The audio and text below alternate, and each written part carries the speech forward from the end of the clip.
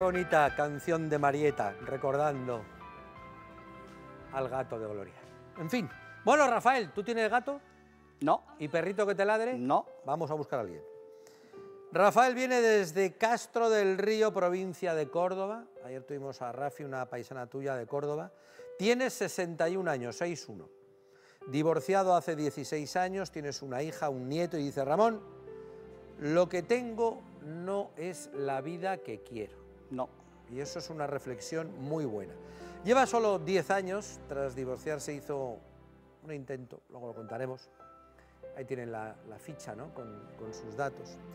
Eh, se ha acomodado, dice, la soledad a veces se acomoda un poco en tu vida, pero es una faena porque te acomodas a ella, pero no estás bien, no estás feliz. No. No estás a gusto. ¿Qué necesita? Y él lo sabe. Ramón, necesito socializar. Lleva toda la vida trabajando este hombre. Trabajo, trabajo, trabajo. Y hay que intentar buscar en la vida otras cosas además del trabajo. Además que es así. La teoría, todos lo sabemos, pero la práctica. Llevarlo luego a la práctica... Es más complicado. Es más complicado. Él está en activo, está dispuesto a sacar tiempo para disfrutar con su compañera de vida. ¿Qué haces un día, un día normal? El campo, ¿no? El campo. Desde que me levanto, sobre las cinco y media de la mañana, me voy a trabajar, llego sobre las dos y me voy después por la tarde al huerto que tengo. ¿Y a qué hora te recoges? Pues sobre las siete y media, las ocho de la tarde. Vale. Este es el día normal. Todo este tiempo trabajando en el campo. Trabajando. Vale. ¿Cómo buscamos entonces los huecos para tener tiempo libre? Porque ahora ya los fines de semana, domingo y todo, son para mí. Antes no los tenía y ahora ya sí. ¿Y puedes disponer de ese tiempo libre? Sí, sí, vale. ahora sí. Perfecto. Eso es importante porque hay mucha gente que quiere una cosa pero luego no pone... No la puede... No la puede desarrollar, sí, ¿no? Sí, por, sí. por muchas cosas, ¿no? Rafael es un hombre familiar. Antes de venir ha hablado con su única hija, con Carmen, y yo voy a hablar con ella ahora, ¿Mm? porque la tengo en línea telefónica. Hola Carmen, muy buenas tardes. Hola, buenas tardes. Me alegra mucho saludarte, ¿cómo estás? Bien, gracias. Bueno, ¿qué tal tiempo hace por ahí? Lloviendo. Lloviendo. Para el campo viene bien, pero por favor que llueva poco a poco. La verdad es que sí. Que no llueva como está lloviendo, como hemos visto en Letour, como, como llueve por sitios que se lleva todo por delante. Que llueva, porque el agua es necesaria al campo en toda España, ¿no? Pero que llueva con tranquilidad, que las cosas caigan, caigan bien, ¿no? Bueno, vamos a lo nuestro. Carmen, aquí estoy con tu padre, ¿le puedes saludar? Bueno. Hola. Saludados están. Y ahora, Carmen, tú me vas a contar cositas de papá para orientar a las chicas que están viendo el programa, para que conozcan un poquito más de cómo es Rafael. ¿Qué les dirías de él? Pues muy trabajador. Eso ya nos ha eh, dicho, muy, sí. Muy simpático, muy buena gente. Él vive solo y se lo hace todo solo. Se apaña bien, ¿no? Sí. Vale, perfecto. Bueno, pues vamos a ver si le encontramos una buena compañera de vida. Tú estás a favor de obra, ¿verdad, cariño? Hombre, yo quiero la felicidad para él. Claro. Bueno, pues papá yo creo que necesita en esta etapa de su vida una compañera. Vamos a ver si hay suerte y aparece hoy. Te mando un beso muy fuerte. ¿Qué tal está el chaval? El niño estudiando. El niño que tiene ya 15, ¿no? Por lo menos, ¿no? 15 años, 15 años. ¿Qué tal va con los estudios? Va bien. ¿Qué está estudiando ahora? Cuarto de la ESO. Cuarto de la ESO. Bueno, pues dale recuerdos míos, ¿vale? Vale, muchas gracias. Un beso muy fuerte, despídete de papá. Adiós, que tenga suerte. Adiós, guapa. Bueno, vamos hasta Castro del Río, en Córdoba, allí naciste. ¿Cómo es Castro del Río? Pueblo no muy grande ni muy chico, 7.500 habitantes más o menos. Ajá. ¿Es bonito? Sí, para mí sí. Vale. ¿Allí llevas tú Toda la vida. toda la vida? Vale. Este fue el segundo de cuatro hermanos. De cuatro hermanos. Cuando era pequeño, tus padres se fueron a Suecia. Sí, señor. Lo dejó, al más chico lo dejó con cinco meses, que es el que va detrás de mí, ¿Y qué fueron a hacer a Suecia? a trabajar. ¿A- ¿En qué? Trabajaron en limpieza de, de restaurantes y cosas de esas. ¿Y Ah, cu- pues. cuánto tiempo estuvieron ahí? Seis años. Seis años en Suecia. Y apañaron unos dineros y compraron unas tierras allí en el pueblo. Esa era la idea, ¿no? Esa era la idea. Ir a trabajar los dos, ahorrar dinero y comprar unas tierras en el pueblo. sí, sí. A nosotros nos dejó con, con mi abuela materna, nos cuidó mi abuela, Bueno, pues unos recuerdos, ¿cómo se llamaba la abuela? Carmen. Carmen. Carmen mi madre y Carmen hija. Tu hija, todas Carmen. Y Carmen todas. Vale. Oye, qué, qué buenos recuerdos de la abuela entonces. ¿no? Vaya, vaya. ¿Y los padres cuando venían de Suecia? Mi padre vino en seis años una vez, mi madre vino dos. Nada más. ¿Y hablabais por teléfono con ellos? No, entonces no se hablaban por teléfono ni había ¿Alguna tanto. carta? Carta le escribía a mi abuela y nosotros estábamos Nada, o sea. renacuajos. Fíjense, no hace tanto, si tiene 61 años, más Claro. joven que yo este. A mí me dejaron con 19 meses,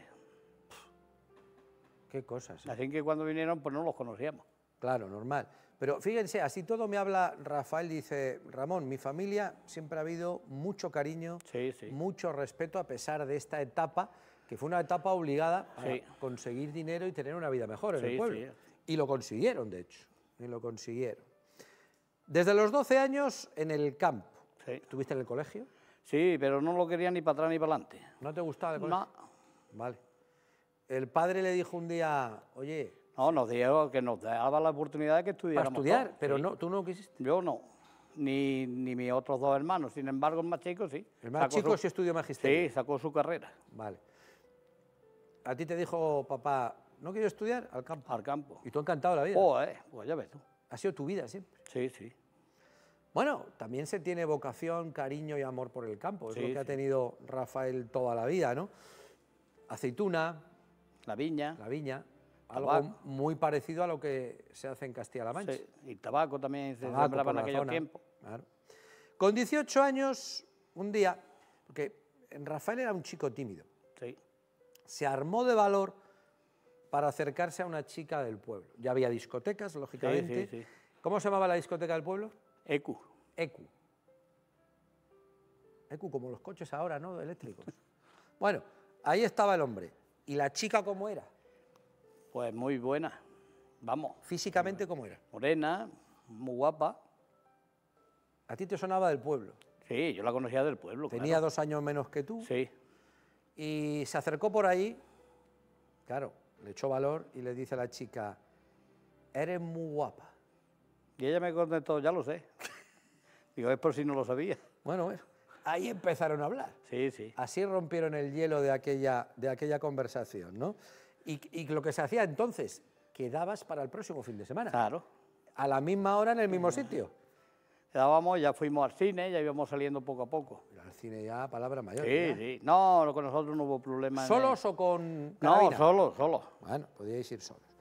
Em, su padre, el padre de la chica, apenas salía de casa, tenía Sí, un sí, problema tenía un de una problema pierna. en la pierna. Vale. Y los planes, eso, paseo por el pueblo, ir al cine, Sí. a la discoteca, ECU y, poco más. y poco más. Dos años así, muy felices. Y te toca ir a la mili. Ahí está. Islas Canarias. Ahí está. Islas Canarias. Tenerife Campamento, Lanzarote el, el cuartel. pues en Lanzarote no había muchos soldados destinados, ¿eh? No, no habíamos muchos, No habríamos estaban muchos. mil No era un destino mil muy habitual. Mil y algo habríamos allí. ¿Qué tal por Lanzarote? Muy bien. Y muy buenos amigos que se apañan allí. ¿Sabrás quién es César Manrique? Era el que tenía todo aquello de las El islas. que construyó todo. Sí, sí. Casa estilo César Manrique. Sí, sí. No sé qué, César, Manrique fue un Y genio. unas cosas muy bonitas. Un genio para Lanzarote. Los jameos del Los agua. jameos del agua, la, cueva de los verdes, La montaña de fuego. todo es precioso. Sí, Timanfaya, sí, la montaña de fuego, todo Y fariones. Pues hizo la mili en un sitio que yo le recomiendo, dentro de las Islas Canarias, que todas son muy bonitas. Lanzarote es una es es como estar en otro mundo, ¿verdad? Sí, es muy precioso. Muy es como estar, estoy en la luna, estoy en otro sitio. Sí, sí. Si tienen oportunidad de viajar a Lanzarote, háganlo, porque ahora ya los viajes son más asequibles, no como antes, y Lanzarote es una maravilla, una maravilla de sitio. Bueno, acaba la mili, 14 meses. 14 meses. Cartas. Carta. Ella tres, yo una. ¿Y eso? Porque yo era más vago para ¿Para escribir? escribir. Y ella te mandaba tres y tú una. Sí, sí. Cuando ya veía que mandaba tres, yo digo, le voy a contestar que me va, que me va, que me va a dejar de ¿Y qué escribir. se ponía entonces en las cartas? pegos. y Mandaba fotos ahí de militar. ¿o? Sí, fotos y cuatro pegos y cuatro. Bueno, acabó la mili, vuelve al pueblo. eh, esto era lo típico de las parejas de entonces. Acababa la mili, el chico volvía al pueblo, volvía a encontrarse con la chica y ya aquello se formalizaba. Sí, sí. Ya habías hecho la mili a hablar con los padres de ella. Ella primero fue a mi casa. Primero a tu casa. Sí, ¿Y ¿Qué sí. tal encajó? Muy bien, Muy bien. muy bien. Incluso hoy todavía sigue encajando bien. Bueno, eso es bonito. Sí, sí. Eso es bonito. Mira, Es que allí vive, es que vive, vive allí mi hija, no, Claro. es que vive mi hija y mi nieto. Y claro, y Y va a verlo. hay claro, visitas, claro. lógicamente. Yo creo que eso es bonito, que Sí. permanezcan esas cosas, ¿no? Sí. Porque los matrimonios a veces se rompen, pero es así la vida. Oye, em, claro, fue a hablar con el padre. Ahí se conocían todos, ¿no? Claro. Y le dijo al suegro, bueno, quiero decirle que estoy saliendo con su hija. Dije, ya lo sé. Eh, Aquí lo sabemos todos. Que el pueblo es chico, Claro. ya sabemos. ¿Qué te dijo? Que te portes bien. Dice, lo que quiero es que te portes bien. Digo, por eso he venido, si no, no fuera venido ni siquiera. Tú ahora que eres padre de una niña, Hombre, lo entiendes perfectamente claro. Bueno, pues a partir de ese momento ya la cosa funcionó. Sí, sí. Eh, ellos siguieron su relación. sí. Iba todo bien. Eh, un mes le dice a Rafael, ¿cómo se llamaba tu chica? Isabel, Le dice Isabel a Rafael, ¿te llamaba Rafa o Rafael? Rafa, Oye, Rafa, que este mes no... Que no. Este mes no. Va, pasa nada, hombre, habrá sido una, una tontería, una tontería. Bueno, pues Isabel fue al médico, fue al médico y, y te llamó, oye, tengo que hablar contigo. La noticia, embarazada, hoy. Y dice, bueno, tampoco nos sorprendió porque ya iban practicando, iban cogiendo Claro, práctica claro. al matrimonio y pasó lo que pasó. Entonces estas noticias no encajaban muy bien. No, Pero vamos. bueno. Yo se lo dije a mi madre. ¿Y qué mi- te dijo tu madre? Mi madre dice, ¿tú sabes lo que has hecho? Digo, pues claro, lo sé. Mejor que tú. no lo voy a saber ¿Lo lo que vas ha a hecho. Y estaba Ay. yo allí. Bueno, estaba yo allí, claro. Bueno, pues nada, se casaron por el sindicato Vela Prisa. Sí, señor. Había que organizar todo rápido. Rafael se casa con 23 años Y en meses. agosto. No, ¿en agosto qué? ¿En agosto qué pasó? En agosto que cumplo los años. Ah, vale, perfecto. Cumplías 23 en agosto. Eh, estamos, estamos. Eso sí. Y te casas un 8 de noviembre Ahí estamos. del 86. La boda fue de tarde por la iglesia en Castro del Río, en Córdoba. 300 personas. Sí. Uy, qué pila gente. Siempre Y de blanco que se casó. porque quería ella, ¿no? Quería ella, yo se lo dije, digo, si tú quieres, pues, para adelante. Ya sabes, los pueblos, mira. Sí, que empiezan Va a preñar y va de blanco. Pero bueno, y ella que le gustaba y se iba a casar, vamos, yo creí que era la más que esa vez, ahora se puede casar otra vez, Pero ¿no? Pero- atiéndeme, que al final Sí. era vuestra boda, ¿no? Claro, era la de nosotros, como yo le dije. Bien dicho, me parece bien eso. Tú tienes que casarte como tú quieras y no hacer caso a lo que digan los Desde demás. luego. Eso fue lo que le dijo Rafael. Eh, cena, me imagino. Sí, Os sí. casasteis de tarde. Sí. Y luego a la discoteca. A la discoteca estaba a 100 metros del, del salón de ¿La boda. ECU? Sí, la ECU. O sea, donde os conocisteis y fuisteis Sí, a celebrarlo ahí. Qué bueno. Hasta las tantas. Pues de madrugada, Claro. Noche de bodas. ¿La primera noche de bodas? ¿Dónde la pasaste? en la casa.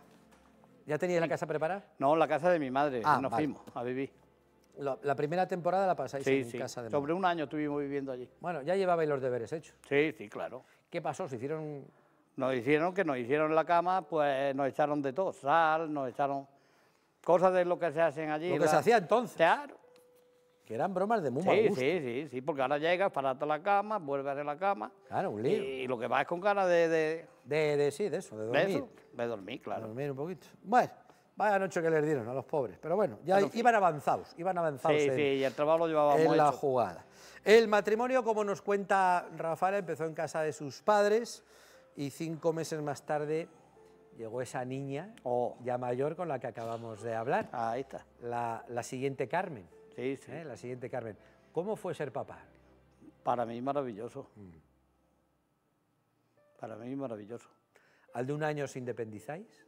Al año nos independizamos, nos compramos ya una casa Ujú. y nos fuimos a vivir ya solos. Bueno, muy unidos a sus padres, pero ya prefirieron vivir Sí, de una sí. manera independiente. Em, Me dice Rafael que su mujer se llevaba fenomenal con sus padres, que eran sus suegros, pero bueno, hay gente que se lleva bien con los suegros. Sí, sí. ¿eh? Tú trabajabas para un terrateniente del pueblo. Sí, Eh, tu mujer cuidaba a la niña. sí. ¿Cuántas horas echabas tú ahí? Pues día que me iba a las 5 de la mañana de mi casa llegaba a las 10 y media, 11 de la noche. Y eso es lo que había. ¿Sábados? Domingo, Y festivo y todos los días. Ahí no había día. ¿Y qué hacías ahí? En los ajos, tenía ajos sembrados. Ajos. Sí. Los riegos, los abonos, los sulfatos. Cuando no teníamos los ajos, pues a los olivos. Rafael, todos los días. Todos los días. Domingos de aquí no íbamos a ir a trabajar. Me iba para mi casa, me llamaba, mañana qué vas a hacer. Digo, mañana yo nada, nos ha dicho que vamos a descansar. Dice, no, que vamos a ir a, a tirarle el abono a los ajos. Adiós domingo. Bueno, pues eh, ya lo ven. Disfrutaron mucho de la niña, aunque Rafael muchas veces cuando se iba estaba dormida y cuando, y cuando volvía llegaba, también. iden de la misma.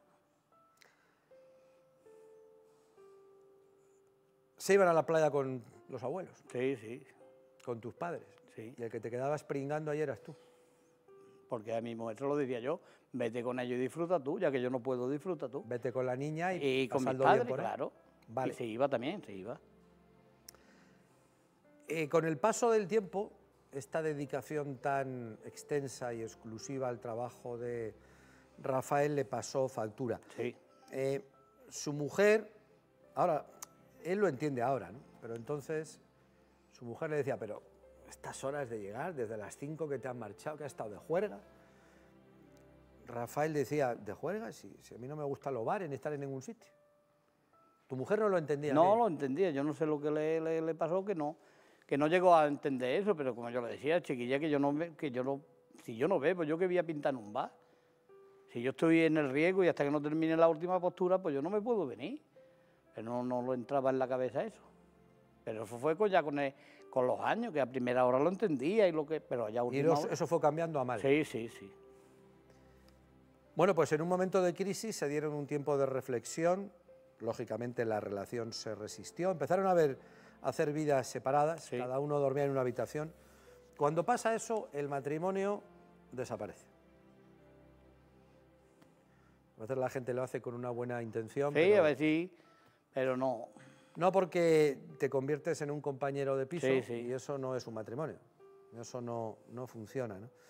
Em, cada uno dormía, como les digo, en su habitación, compañeros de convivencia, la relación se acabó y tomas la decisión de volver a casa de tu madre. Sí, Y te divorcias con 45 con años. 45 años, Carmen, tu niña, tenía ya 22. 22. Lo entendió, Sí, lo, lo fue viendo, claro. lo fue viendo. Pasas una temporada en casa de tus padres. Sí. ¿Qué te decía tu madre? Oh, un show. Mi madre sí salía porque niño y ahora va a salir que mañana tiene que trabajar. Si no salía niño y hoy no sale. Pero mamá, y si me iba a la calle, cuando llegaba sentada allí en el bombo esperándome para apañarme la cena. Pero mamá, ¿tú qué haces aquí en el bombo todavía, las horas que son? Para que te coma la comida calentica. Y si yo me iba a las 6 de la mañana, a las cinco y media ella levantaba para hacerme la talega. Le dije, pero mamá, para que te lo lleves calentico y te lo comas calentico. Digo, pero mamá, desde las 6 de la mañana a las 2 que yo coma va a estar esto calentico. Pero nada, no había forma. Hasta que decidí, pues, de- digo, esto me voy a cargar yo a mi madre. Lo que es una madre. Oh, Eso solamente lo hace una madre. sí, sí, sí. Qué verdad es esa. Eh, Rafael recapacitó sobre aquello, buscó un piso de alquiler hasta que su mujer quiso cambiar de casa, Ya estamos. le compraste su parte y Su parte. volviste a vivir a la Ah, casa hoy vivo yo en la casa que había compré. sido la Sí, sí, casa del matrimonio. del matrimonio y de, sí. y de tu niña. Sí, Bueno, pues así se fue recolocando poco a poco Rafael y después de cinco años solos, solo tú, sí, sí. redes sociales, no te pega nada, Un rollo. que a ti no te pega nada eso. La de al lado lo mismo, ¿eh? Ya, ya. Y además que es un rollo, ¿eh? Bueno, tú verás. Pues claro que lo he visto. Yo no me he metido todavía en redes sociales. Pues no te metas. Vale, vale. te lo aconsejo. Vale, vale. No ¿Qué, pa- hay- qué te pasó allí? Pues nada, que conocí a una, una muchacha de Cáceres, Badajoz, Cáceres de Badajoz, Ajá. y salió la gata gato. Una extremeña. Sí, Y no salió bien. no, Divorciada, con cuatro hijos, Sí. intentasteis la convivencia, a ver cómo... fu- Porque sin convivencia no se quita no, la no, sin convivencia no. Estuvimos hablando un tiempo por las redes, Y- nos dimos los teléfonos, empezamos a hablar por teléfono, muy bien, hasta que decidimos de conocernos. Y ella se vino a vivir a mi casa conmigo. ¿Y qué tal? Primera hora bien, pero resulta de que no hablaba nada más que conmigo. Es que tenía tres o cuatro más hablando por las redes sociales. Así que, que me dijo, dice, es que yo no sé cómo va a salir esto. Yo tengo que seguir conociendo a gente. Digo, que esto sale malamente, claro que sale malamente. Y se Entonces, acabó. Ya ves tú se acabó. ¿Cuánto duró esto? Sobre tres meses y medio, cuatro. Vamos. Un 100 no es. Y desde entonces solo. Solo, 11 años lleva solo. sí, 11 años es mucho tiempo. ¿eh? más de la cuenta. Este programa hará 9 en mayo del año que viene. Llevamos ocho y medio largo aquí. Hoy es nuestro programa 2145. Este nos ve desde el principio, Sí. Yo llamé aquí. al principio. De, los- de primera hora, sí. Una muchacha que vi salió y ¿Y cómo te Llamé. habíamos perdido la pista? pues no lo sé. ¿Te hemos rescatado hoy? Pues gracias por estar aquí. Hombre, gracias a ustedes por traerme. Eh, yo les digo que aquí nunca dejamos atrás a nadie. Nunca. A veces es complicado porque cada vez sois más gente Claro, en esta claro. familia, ¿no? Pero miren, Ángela Ortiz, que es su redactora, ahora la verán, pues le ha rescatado, ¿no? Porque nosotros tenemos todo guardado, las fichas, la vida de cada uno, y cuando podemos contrastar esa información con otras personas que vienen, pues os, lo decimos, o a veces decimos, joder, pues fíjate, pues lo que ha hecho Ángela contigo, ahí va. Había una carpeta por aquí de invitados de antes y a Rafael hace tiempo que no le tocábamos. Y bueno, pues miren, hemos estado hablando y, y aquí está hoy Rafael. Tiene 61 años, 6'1". Busca una compañera de cerca, él tiene coche, está en activo, es de Castro del Río, en Córdoba.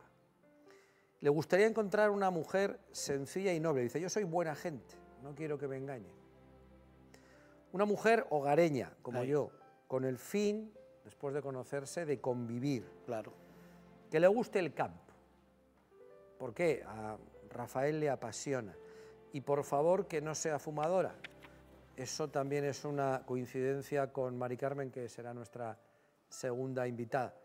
Em, pues Rafael, gracias por estar aquí, que vaya todo bien, que salga bien y que aparezca hoy al otro lado esa chica que necesitas, ¿vale? Muchas gracias. A ti por, por la confianza.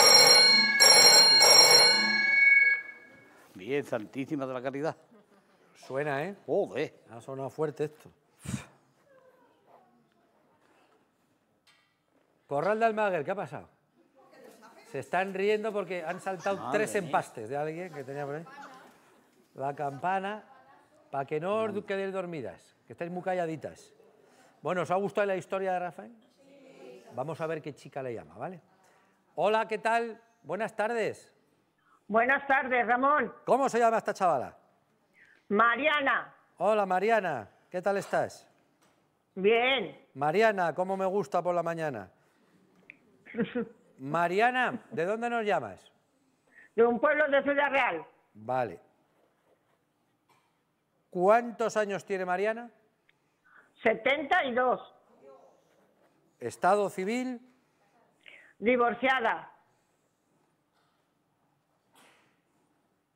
Vale. ¿Hijos? Una hija, pero no, no está conmigo. Vale. O sea, que estás solita tú. Sí. Vale. ¿Qué te ha gustado de Rafael, Mariana? Bueno, pues yo lo veo un hombre muy bien, perfectamente, sí, muy bien, muy bien, sí. Vale, pues yo te lo voy a presentar. Le doy tu número de teléfono de contacto para que te devuelva la llamada, Mariana. Y bueno, Vale. pues por lo menos charláis a ver si encontráis puntos en común, ¿de acuerdo? Vale, sí, de acuerdo, sí. Rafael, en esa cámara está la que va a ser la primera chica de tu lista, que se llama Mariana, para que la saludes. Mariana, muchas gracias por llamar. Hola, buenas tardes, Rafael. Buenas Bueno, tardes. gracias por, eh, por estar tú ahí. Venga, muchas gracias, Mariana. Vale. Pues lo Vale. siguiente, como nos gusta a nosotros, ya lo hacéis en privado, ya habláis en privado. A partir de ahí ya sois dos personas adultas para que desarrolléis una conversación y podáis encontrar puntos en común. Un beso muy fuerte, Mariana. Y otro para ti, Ramón, y otro para Rafael. Me otro para ti, Mariana. Gracias, Gracias, buenas tardes. gracias. Adiós, adiós. Bueno, Ángela Ortiz, Ángela. Buenas tardes. Buenas tardes. Aquí tenemos a Rafael, que le hemos traído de su, de su tierra cordobesa. Qué bien me lo he pasado hoy con él, la verdad. Es que es un, un hombre súper divertido. Llevamos un tiempo hablando y la verdad es que solo tengo cosas maravillosas que decir de él. Vamos, mm, era llamarle y que me alegrara, que me alegrara el día porque es una persona súper cariñosa, es muy transparente y nada, y que Rafael ha sido muy trabajador y yo creo que ahora te toca disfrutar, tú tienes ganas de moverte, de viajar y de tal. Así que todas esas señoras que se han dedicado a su familia, que se han dedicado a sus hijos y que ahora ya los tienen criados y quieren vivir la vida eh, al lado de, de un señor bueno y de buen corazón, aquí lo tienen. Es una maravilla de hombre y nada, ya sabes, eres de la familia y muchísimas gracias por venir. Gracias a ti. Pues sigan los consejos de Ángela, gracias Ángela. A vosotros. que creo que ha definido y ha defendido muy bien a, a su invitado porque es la que mejor le conoce, que ha estado tratando con él Eh, todos estos días. Es un encanto. Gracias por, por su trabajo, Ángela. Eh, ahora me despido de Rafael, te voy a